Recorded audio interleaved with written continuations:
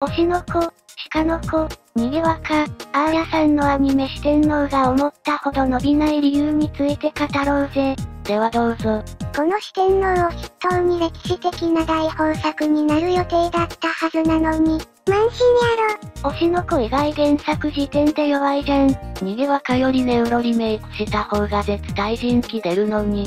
ハイライデンフィルム、マヨパンみたいに吸血鬼物は基本受けないとはっきり分かった根気だった。シーサイドスクワットは見てる。なんでオーシャンビューになってるんだよ。しかもよく見たらスクワットじゃねえか。マケインが映画クオリティやからな映画からのが良かったよな。鹿の子は。リピート動画が面白かっただけやった。音楽としても最初の5秒ループ曲単体やったな。今季は。もともと不作やろ。あーらは。あーらさんより他のヒロインのが正直可愛い逃げ若は。原作からして良くも悪くも中堅くらいの作品だしな。中堅のドンケツギリギリやろ一番最低編がアンデラ。その上に夜桜逃げ若。推しの子は。金子パリーマケインだろ。CV 早見沙織が可愛いだけのアニメ見るレベルで不作やわ。逃げ若のギャグと現代要素寒い。クソアニメを見るときはニコニコのコメントが欲しくなるわ。クソアニメ消化器としては優秀なのに今使えんからな。鹿の子や印令和のボーボボこれボーボボに失礼よな。さくな姫よくね。全年齢硬すぎるな。サクナ姫が海外でみじんも人気なくて草生えるまあ国内でも空気だけど。上位はこの辺かなあとテンスラやダリアやサクナ姫あたり。サクナ姫ゲームだとクソガキだけどアニメだと一番まともでクソガキじゃないって聞いて聞いたんやがどうなんマケイン作者ってもしかしてトラドラ好きなんかな？今季はやる前から分かってたけどやはり不作。推しの子はつまらんところやし、鹿の子とかなんあれ？そんな中でマケインはようやっとるしかしなんであそこまで作画に力入れるかね。つまりナンジーの外ではその4本が人気なのか。逃げ若を見るくらいなら大河ドラマ見てくれんか？来年はともかく、そろそろ存続が怪しいレベルになってんねん。今季は見るものなさすぎやライト層のアニメ離れ加速したりしてな。マケインは原作がちゃんと面白いからな他がカスとも言えるが。鹿の子はニコニコ生きてればもう少し延命できただろうにあんなん米なしで見ると書くようでしかない。ああいう系はテンポや演出でごまかすものなのに無駄に上調で変なセリフ入れてくるから見るのも辛い。小市民3話まで見たけど女の子はなんでおるんや？実はめちゃくちゃ強くてチャリパクったヤンキーボコルとかなんかないんか。夜更かしの歌の介護官みたいなやつタイトルなんだったっけ？真夜中パンチ？内容は全然違うけどね。本命の推しの子の期待外れ感。推しの子は原作でも微妙なところだしなこの後舞台編が終わったら少し面白くなるけど2期でどこまでやるかは不明。今回の話はマジで熱かったぞ作画も演出も何もかも神だった。推しの子一強だな東京ブレイドこれからマジで期待。さくな姫はおもろいけど今のオタクってストレス耐性皆無だから序盤の展開に耐えられなさそうではある。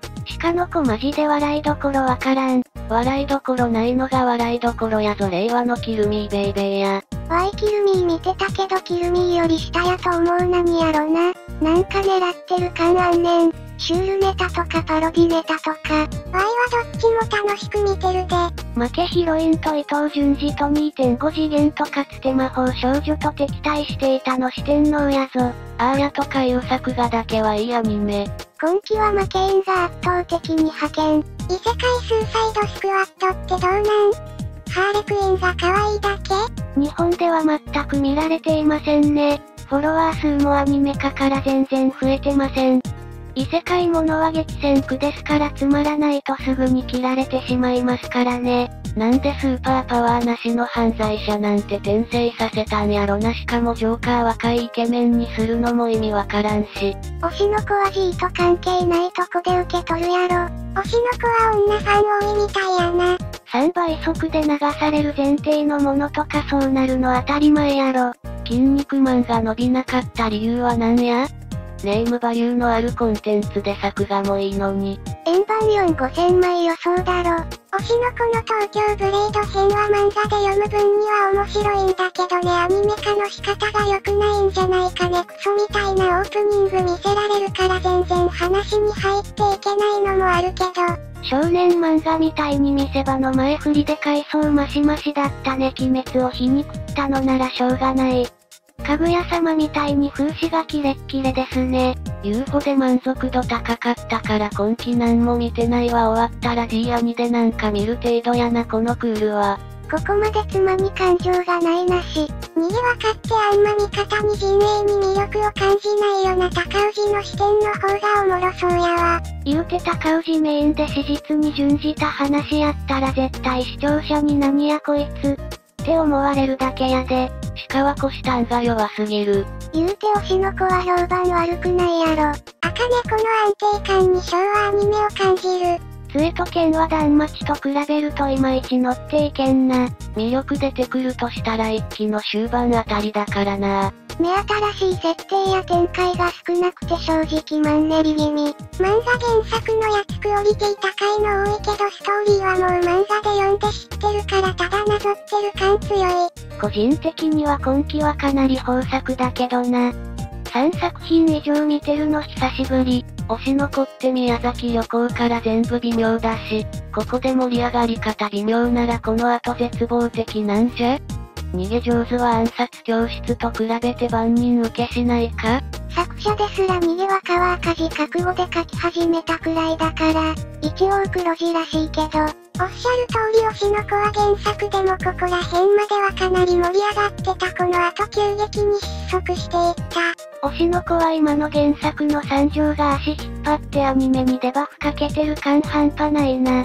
かぐやさんきと同じことが起こってるんだよな。スーサイドスクワットに、3話見たけど微妙だったなアメリカのヒーローものの映画全然見ないんだけどそれをアニメ化したらこんな感じかなって印象。逃げ若が流行れば歴史アニメが次々作られる可能性ありますかね？横山三国志の再アニメ化を夢見て応援させていただきます。逃げ若って今のとこギャグアニメだし、逃げ若が流行ったから歴史物が流行るのに直結しなさそう。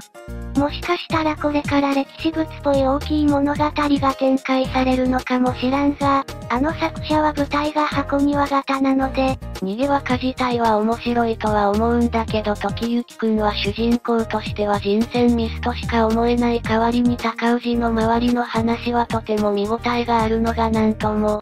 筋肉マンは東映が旧作無料配信のお膳立てして、公式が YouTube でめちゃくちゃ宣伝しておきながら配信はネトフリ独占ってそりゃ伸びるわけないやん。悪い意味で前評判通りのクールになりつつある生ホアコみたいなダークホース枠もない上に続編作品も全体的に微妙だし。ブブからして多分微妙だろうなと思ったけどバズってたし一応見た鹿の子微妙ってレベルじゃなかった。全体で見るとボーボボ感みたいなのは僕一部分なんよね。肉が伸びるって発想自体が間違いどうお膳立てしようとおっさんの教習以上のものはない。推しの子はまだ2.5次元のやつ終わらないの？ワイはルビーが見たいんやが。ルビーの出番は、その、お前の見たいルビーはもう出てこないぞ。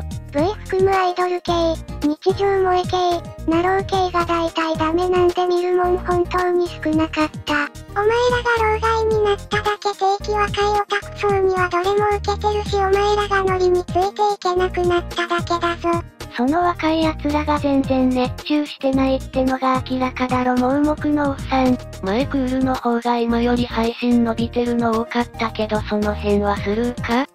それに今の配信なんて年齢関係なく見てるんだから年齢がで配信出しても意味ねえよ。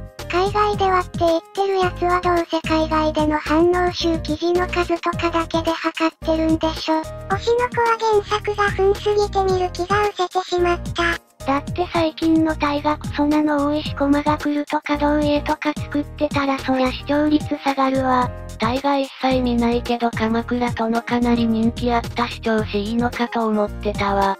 鹿の子は話題に上がった時に原作全部読んでからアニメ見たらなんかつまんなかったわアニメだけ見た方がいいと思うよ。推しの子、そもそも期待されてるほど面白くない鹿の子、ニッチな赤岡系ギャグ漫画なので大衆向けじゃないにぎわか。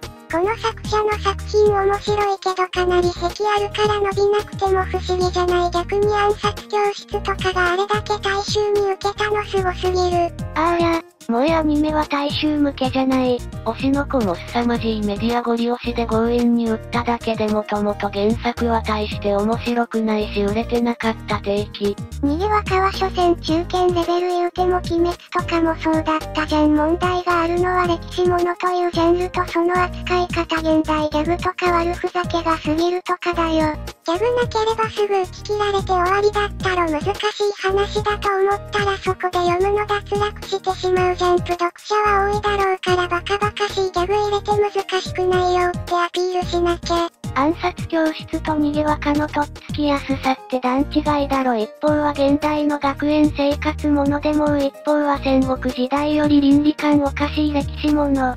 作者自身が売れる漫画と書きたい漫画を交互に書いてるって言ってるから。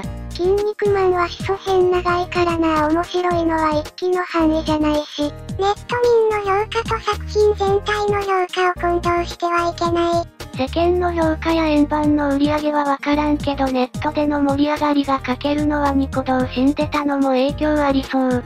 根気が不作とか言ってるやつはマスコミが流す偏った前評判をそのまま真に受けてみてないだけだな実際に見てみると面白いの多いよ根気。それは単にお前自身が世間一般の評価とずれてるのを認められてないだけ俺はどれも面白いと思うよならともかく、自分と違う意見の多数派をまとめて無根拠のレッテル張りするのは自分の意見が多数派じゃないのが悔しくて正当化したいだけなんよ。高氏がやべえやつなの見えてきたし、小笠原殿も楽しい目玉親父だし、逃げ若加速すんじゃねえの？あとオープニングもエンディングも癖になる。チアのアニメのなんか普通に見れるなんてだろ？期待してなかったからか他が期待を裏切る出来だったからか。他の子はバズり狙いのマッシュル路線で行ったのは良かったと思うまあそれだけ。推しの子の舞台編ってジェネリックアクタージュで面白くなかったな。アクタージュは終わり方まで芸術的だったからな。推しの子は原作からして面白いのは最初だけって評価だし、アマプラランキングだと割と上の方に来てるからネット民あんま参考にならんなって。宣伝が強く影響するランキングじゃそりゃジャンプ系は無敵でしょ他とは宣伝量が桁違いなんだから。鹿の子は原作が売り切れて生産が追いつかないほど売れた時点で成功なんじゃないかアニメ化による発行部数の伸び率は結構上の方だろ。今回は以上になります。このチャンネルでは最新のアニメのみんなの反応を紹介しています。動画制作のモチベーションになりますので興味を持った人は良ければ高評価チャンネル登録コメントをよろしくお願いします。それでは最後までご視聴いただきありがとうございました。